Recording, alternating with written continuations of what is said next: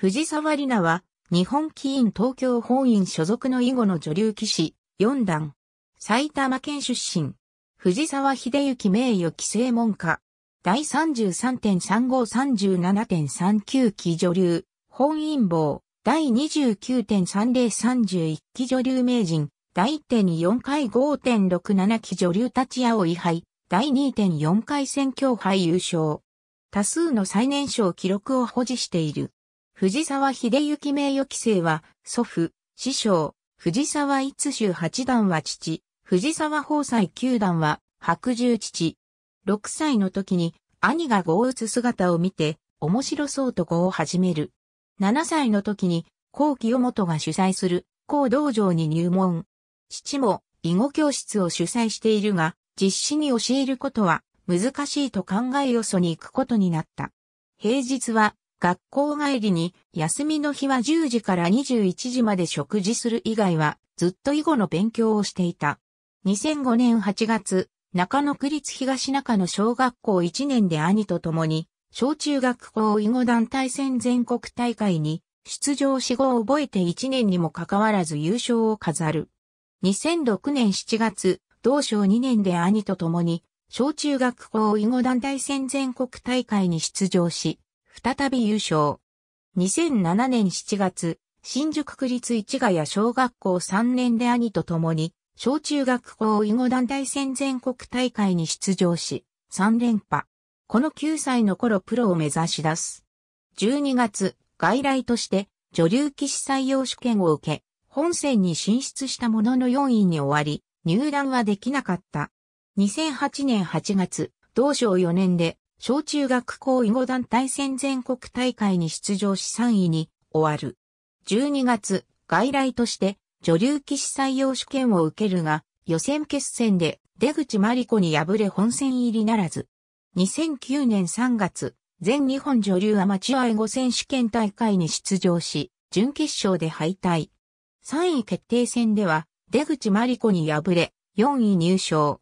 4月、日本棋院院制となる。2010年1月、陰性上位として女流騎士特別採用試験に臨み、6勝2敗で3人が並んだが、順列規定で上位により採用1名のため、藤沢のみ入団を果たす。2010年4月付で11歳6ヶ月で入団。これまでの最年少入団記録の長地君の11歳9ヶ月、女流ではシャイアキラの14歳4ヶ月を更新し、当時の日本棋院所属棋士のプロ入り最年少記録を樹立。2003年から女流棋士特別採用試験の年齢制限が改正され制限がなくなっており、適用第1号となった。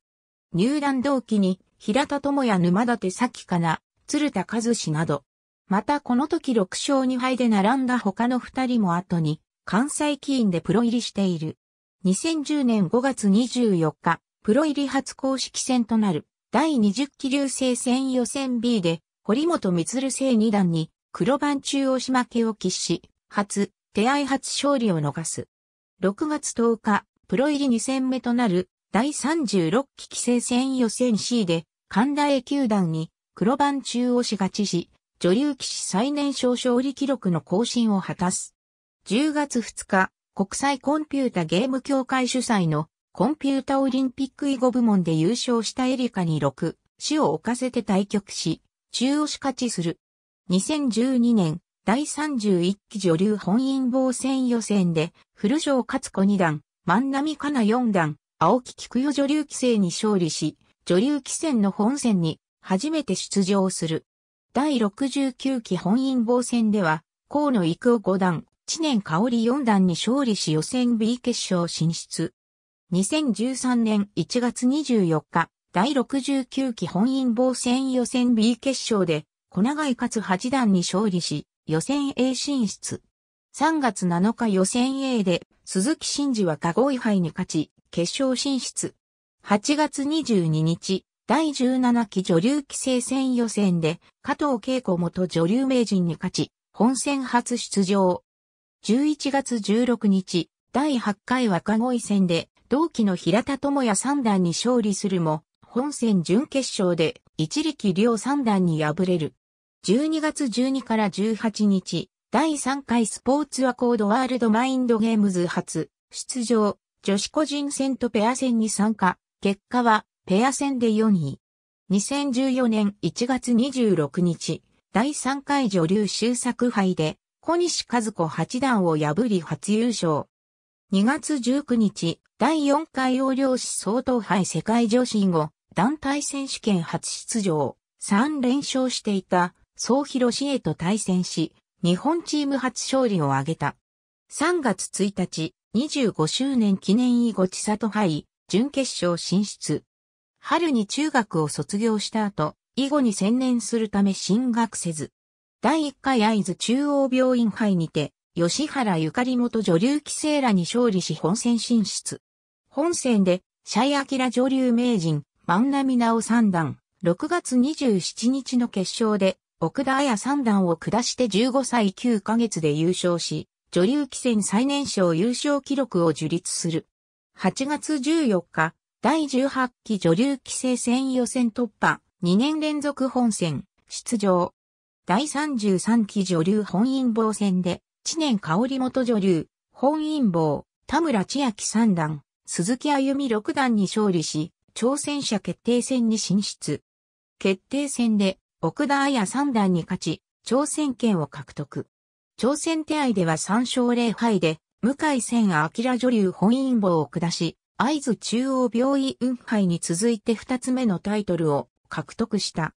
16歳1ヶ月での女流本因坊は史上最年少となる。11月16日第9回若恋戦、本戦トーナメントで準決勝進出、優勝の元木勝治に敗れる。12月11日から17日に第4回、スポーツアコードワールドマインドゲームズ出場、女子個人戦とペア戦に参加、結果は、ペア戦で4位。2014年の賞金ランキングでは7位に入り、2013年まで女流騎士の中で7年連続最高順位だったシャイアキラを上回った。2015年第34期女流本因坊戦でシャイアキラの挑戦を受け2勝3敗で出刊。2016年3月18日、非公式戦の第2回イベロジャパン杯で優勝。非公式戦の若手棋戦ではあるものの、元家元三段、広瀬雄一初段、芝野虎丸二段らに勝利しての優勝であった。7月21日の第35期女流本因坊戦本戦決勝で鈴木あゆみ七段を破り挑戦権獲得。10月24日、女流五冠を独占していたシャヤキラ女流本因坊を3勝1敗で破り、2年ぶり2度目の女流本因坊を獲得。賞金ランキング10位。2017年第29期女流名人リーグで6勝全勝で挑戦権獲得。3月8日、9連覇中のシャイアキラ女流名人を2勝0敗のストレートで破り、初の女流名人を獲得。6月、第4回女流立ち会い杯決勝で、シャイアキラ会津中央病院杯を2勝1敗で破り、優勝。7月16日、第2回戦強杯女流最強戦決勝で、シャイアキラ戦強敗に勝利し優勝。女流5期戦中4タイトルで優勝し、女流タイトル4冠を達成。前年のシャイアキラの5冠独占から女流囲碁界の勢力図を大きく塗り替えた。第43期五聖戦では、井口豊秀8段、白石勇16段、陽里しあぐり3段、片岡聡元天元、9月21日に小山空也3段に勝利し、自身初の7大タイトル本戦進出を果たす。7大棋戦で女流棋士が本戦進出するのは2008年に第35期天元戦で加藤恵子6段と桑原陽子5段が本戦入りして以来9年ぶりで女流棋士史上9人目となる。本戦ではセット大期8段に敗れ本戦勝利ならず。11月27日第36期女流本因坊戦ではシャイアキラ女流規制の挑戦を受け、2勝3敗で、敗れ出刊。2017年を三冠保有で終える。2018年9月20日、第44期五星戦予選 A を突破し本戦に進出。10月25日、第45期天元戦でも予選 A を突破し本戦に進出。同じ年に7大タイトルに棋戦での本戦入り達成は女流棋士初。また、第27期流星戦では8月25日放送の1回戦で高尾真治球団に勝利し、ベスト8進出。女流棋士の流星戦、ベスト8進出は当時史上初。女流棋戦では第30期女流名人戦で八代久美子六段の挑戦を2勝0敗で退け、女流立ち葵杯でも、シャイアキラ女流、本因坊の挑戦を2勝1敗で退ける。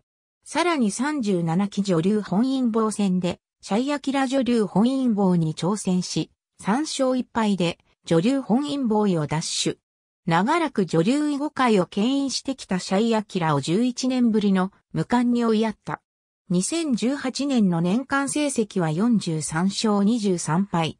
43勝は同年最多勝ちの芝野虎丸の46勝に次ぐ同年日本棋院棋士に位体の勝ち数で、2001年の小林泉の41勝を上回り、日本棋院女流棋士の史上最多勝記録を更新した。2019年1月21日の第45期天元戦本戦1回戦では、高橋真澄三段に中押し勝ち、女流棋士としては、史上初めて7大棋戦の本戦で白帽子を挙げた。第22期女流棋聖戦では、同期戦自身初となる挑戦手合進出を決めたが、1月28日、上野愛崎美代流棋聖2 0勝2敗で敗退。第31期女流名人戦挑戦手合では3月22日に、シャイアキラ6段を2勝0敗で下し3連覇。第6期女流立ち葵杯では6月14日に、上野愛崎美代流棋聖の挑戦を2勝0敗で退け、こちらも3連覇を果たす。さらに7月14日、第4回戦強杯女流囲碁最強戦決勝で、シャイアキラ6段に勝利し再び女流4冠となる。11月15日、第38期女流本因坊戦でも上野愛崎、三代流棋聖の挑戦を受けるが、今度は1勝3敗で敗れ、女流三冠に交代した。また、第46期名人戦最終予選では、志田達也八段、中野康弘九段に勝利し決勝まで進出。ここで勝利すれば女流棋士史上初のリーグ入りとなるところだったが、11月18日、一力両八段に敗退。リーグ入りはならなかった。2020年は女流名人戦が第31期をもって休止となったことに伴い、女流名人の在位期間が3月までで終了。第7期女流立ち会い杯では、挑戦者の鈴木歩み女流棋聖を2勝0敗で破り、4連覇を達成したが、第5回戦強敗女流囲碁最強戦準決勝で、シャイアキラ6段に敗れ1冠に交代した。第1回博多、釜地杯では10月の決勝戦で、上野愛崎美三段を下し優勝。11月には、女流名人戦が再開したことに伴い、女流名人に福井。2020年11月22日、第15回広島アルミ杯若鯉戦の決勝で、孫吉七段を破り優勝。男女混合の囲碁公式戦において、女流棋士の優勝は史上初である。なお、若鯉戦では、非公式戦の扱いだった2006年の第1回において、シャイアキラが男女混合棋戦所の女性棋士の優勝をしている。11月25日、第39期女流、本因坊の挑戦手合5番勝負で、上野愛崎妙流本因坊に3勝2敗で勝利し、前期に奪われたタイトルの奪還に成功した。色付きは現在在位。登場は、挑戦手合出場か、決勝進出。他の騎士との比較は、以後の女流タイトル在位者一覧を参照。ありがとうございます。